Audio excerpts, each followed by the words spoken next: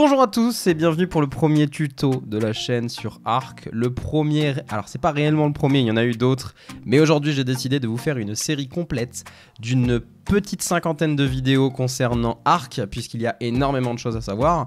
Vous n'êtes pas sans savoir, pardon, que euh, le serveur INX a ouvert ses portes. C'est mon propre serveur qui est au niveau PVE français et au niveau PVP international. Il a vocation à être le plus gros serveur PVE et le plus gros serveur PVP euh, jamais créé. En tout cas, ce serait l'objectif. Et donc je vous laisse en description si vous voulez aller le découvrir. Et aujourd'hui on va parler des settings, euh, que ce soit settings de touche in-game, des settings graphiques, euh, des optimisations et euh, de, des, des caractéristiques du personnage. Voilà. Donc, je suis déjà niveau 75, j'ai déjà monté un petit peu les caractéristiques et on va démarrer par, par ceci. Si vous êtes en PVP, donc, ou en PVE, euh, quoi qu'il arrive. La première caractéristique que vous allez monter dans le jeu, c'est la vitesse. Vous allez pouvoir échapper aux dinos sauvages et c'est très important. Si vous ne savez pas comment passer niveau 75 en 10 minutes, il y a une vidéo qui est sortie ou qui va sortir qui est la Note Run level 1 à 75 en 10 minutes sur The Island. Je vous invite à aller la voir et comme ça vous aurez à peu près ces stats là. L'objectif donc, plus de 160 en speed pour courir. L'attaque ne sert à rien les compétences d'artisanat, ça ne sert que pour crafter des objets améliorés, mais ça c'est beaucoup plus tard. La résistance, vous pouvez mettre un point dedans. J'ai oublié de le mettre, on devrait le mettre à ce moment-là. Le poids, c'est très important, c'est même la statistique, la principale statistique du jeu. Il va falloir monter à 4 500, même, voire même 600.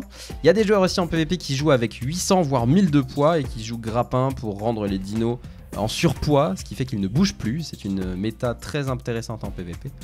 Euh, mais en tout cas, le poids qui va être très intéressant. L'hydratation et la nourriture, on ne la monte absolument pas. Si vous êtes joueur PvE, vous pouvez, si les stats du serveur sont un peu boostés. Je sais qu'il y a certains serveurs qui mettent, par exemple, vous mettez un point, ça vous en donne 50. Sur le PvE, euh, que sur INX du coup, donc le serveur qui est en description, eh bien il y a des serveurs, il y a, y a, notamment des serveurs modés qui vont vous permettre d'augmenter et là dans ce cas, bah, vous pouvez mettre un point dans chaque. pareil, l'oxygène vous augmente pas seulement l'oxygène, il vous augmente votre euh, speed dans l'eau. Donc c'est très important si vous voulez euh, vous restat pour par exemple aller chercher des blueprints, donc les schémas améliorés euh, dans des euh, loots dans l'eau. ça va vous permettre d'aller beaucoup plus vite avec les palmes et la speed. Et la stamina. stamina qui, pour moi, en PVP ne doit pas être montée. J'aime bien monter à 120, histoire d'avoir un petit peu plus d'énergie pour pouvoir courir un peu plus longtemps. Mais normalement, c'est pas censé être monté cette, cette, statistique. On est censé la gérer en s'allongeant de temps en temps, etc. En utilisant des potions aussi qui vous permettent d'avoir de l'énergie plus tard. Euh, mais voilà, mais j'aime bien mettre 120. 150, c'est le grand maximum. Si vous êtes en PVE, vous pouvez vous faire plaisir. Et la Vita, qui est sans doute une, stat, une des stats les plus importantes avec le poids et la speed. La Vita que je conseille de monter, puisqu'on peut monter jusqu'au niveau 105 sans avoir fait Rockwell ni l'Ascension. Vous pouvez monter à 200, 300. C'est vous qui voyez, en PVP comme en PVE. Euh, puisque ça va vous permettre de résister aux balles lors des flak runs, lorsque vous allez courir sur des tourelles, ou même ça va vous permettre de résister tout simplement un peu plus. Euh, et c'est pas de refus. Voilà pour euh, le début. Je ne vous parlerai pas des engrammes parce que pour moi, de notre côté sur les serveurs INX, on a mis l'auto-engramme qui débloque les engrammes au fur et à mesure sans avoir besoin de points d'engramme. Mais si vous, vous avez joué sur un serveur qui n'est pas donc sur les serveurs INX, euh, développez principalement les engrammes importants. Ne vous focalisez pas sur les choses comme les chaises ou ce genre de, choses. Les selles, c'est pareil, les selles de dinosaures, ne les débloquez pas tout de suite, débloquez-les que si vous en avez besoin et si vous avez tamé le dino. Euh, voilà ce que j'avais à vous dire là-dessus. Maintenant, on va passer aux settings. Il y en a beaucoup qui disent qu'ils n'ont pas assez de FPS et je les comprends. Ici, on va essayer de faire quelque chose pour les joueurs qui euh, ont un PC euh, un peu plus faible. Donc, le volume peu importe. Moi je suis en 2K. Bon, normalement vous êtes en 1920 par 1080. Je mettrai un screen de tous ces settings directement dans la description. Comme ça, si vous n'avez pas envie de regarder ce qui se passe actuellement à l'écran, vous pouvez aller directement voir en description et passer au prochain tuto. En tout cas, je vais vous détailler un petit peu euh, les choses. Ici, la mémoire tampon, je, mets toujours en ultra. Je ne sais pas exactement à quoi ça va servir.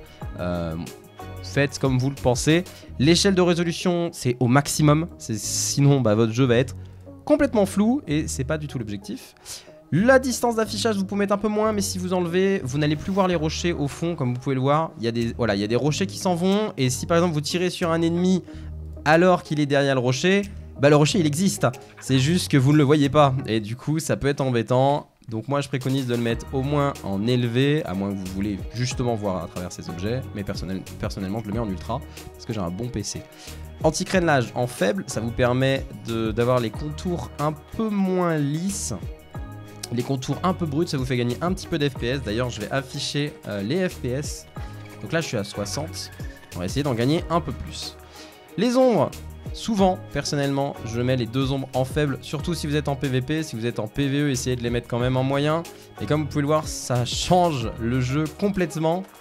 Euh, et surtout, ça vous fait gagner pas mal de FPS. Les textures, c'est pareil, vous pouvez descendre, mais ça va pas vous faire gagner énormément d'FPS, un petit peu quand même. Euh, si vous mettez en moyen, par exemple, à vous de voir. Et là, on rentre dans la partie la plus importante, la distance des objets au sol. Si vous le mettez à 0 en PVP, c'est très pratique, ça vous fait gagner beaucoup de FPS, ça vous permet de voir les joueurs dans certains buissons. Ensuite, euh, donc moi la densité je la mets toujours au maximum quoi qu'il arrive. Après c'est en fonction de la, distance que je fais. Le minimum de maillage mets au minimum, la qualité du ciel au minimum. De toute façon ça change pas grand chose. Et là on va arriver dans les choses un petit peu importantes. Tout ça on s'en fiche un peu. Le flou de mouvement il faut l'enlever, le grain aussi. Le champ ambiant euh, c'est pour les ombres à distance. Il faut l'enlever, ça vous fait perdre quand même pas mal de FPS pour rien. Et là ça c'est la chose la plus importante. Si vous l'enlevez vous allez gagner énormément de FPS. Par contre, le jeu va être moche. Comme vous pouvez le voir, il n'y a plus d'ombre. Il n'y a juste plus d'ombre. Mais en PVP, c'est conseillé de, l'enlever. Personnellement, ça dépend des fois. Des fois, je le mets, des fois, j'enlève. En fonction de ce que je veux. Euh, ensuite, tout ça, vous laissez. L'ombrage descend distant, pareil. Vous n'en voulez pas parce que ça va, vous, ça va vous handicaper et surtout, ça va vous faire perdre des FPS. Et les flous lumineux et les rayons crépusculaires, ça s'en va. C'est ce qui va vous permettre d'avoir de la lumière sur euh, les différentes parties du jeu comme ici mais ça vous éblouit donc on enlève on enlève les deux et on nous éblouit beaucoup moins. Voilà pour ça. La taille de l'interface vous voyez comme vous voulez. Le tremblement de caméra vous l'enlevez. Le champ de vision c'est pour le FOV vous le mettez au maximum pour avoir le plus de champ de vision possible sur l'écran. La sensibilité vous la baissez au maximum pour avoir une bonne visée. S'il vous plaît comme dans les FPS jouer avec une petite sensi c'est bien meilleur. Vous pourrez viser beaucoup plus facilement. Tout ça, vous, vous mettez comme ceci, sinon la troisième personne va être un peu problématique quand vous allez vous déplacer. Ici, c'est fixe, c'est droit, c'est parfait. Euh, ensuite, ici, vous allez mettre exactement ces settings. Ça va vous permettre d'avoir, par exemple, pas de transition quand vous ouvrez votre menu. Ça va vous permettre de ne pas avoir de tremblement de caméra quand vous tapez ou quand vous utilisez avec une pioche, par exemple. Je me suis pas mis en GCM, je vais me mettre en GCM. Donc, une pioche si vous laissez un des paramètres, vous avez euh, votre personnage qui euh, va faire ceci à chaque fois qu'il va taper. Et eh bien si vous l'enlevez, c'est beaucoup plus fluide, c'est beaucoup plus net.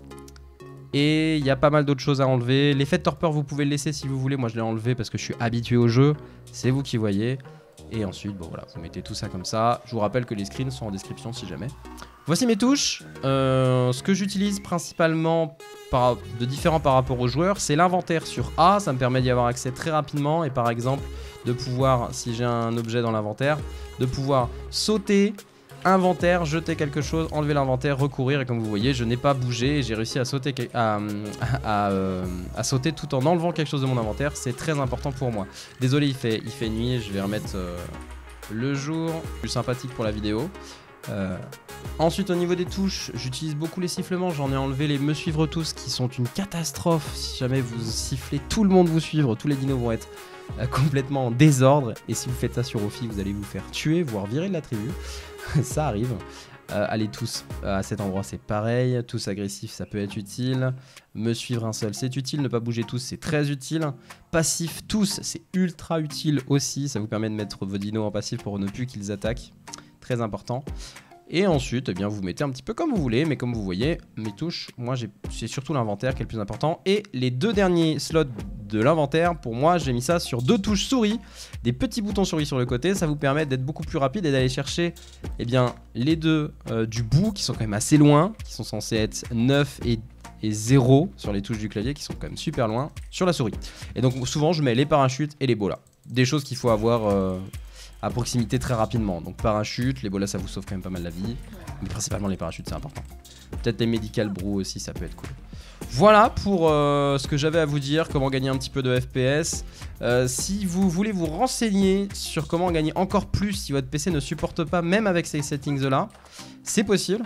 Vous avez des points INI, ça s'appelle. C'est quelque chose que euh, les joueurs utilisent énormément en Ophi. Tout le monde utilise un point INI.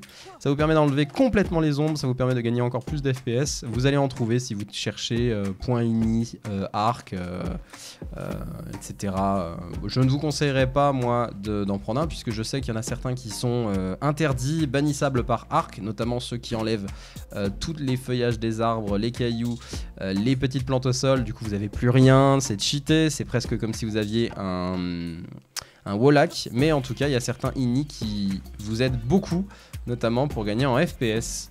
Donc je vous invite à vous renseigner là-dessus. Et eh bien c'est terminé pour ce tuto. J'espère que j'ai été assez concis. Je pense que la vidéo est quand même un peu longue pour, euh, pour son contenu. J'essaye d'être le plus concis possible. J'essaierai de l'être encore plus dans les prochaines vidéos. Ça vous permettre de connaître le jeu par cœur, mais euh, avec des vidéos très courtes, euh, très rapides, qui vous expliquent le maximum de choses en très peu de temps. Et du coup, je vous laisse les screens en description si vous voulez mettre les mêmes settings que moi. On se retrouve très prochainement et eh bien, sur le serveur INX en PVE ou en PVP, le lien est en description. Et on se retrouve très prochainement en live aussi, lien en description. Et euh, pour de nouveaux tutos, je fais des bisous et n'hésitez pas à aller voir la Note Run pour monter niveau 75 très rapidement. Au revoir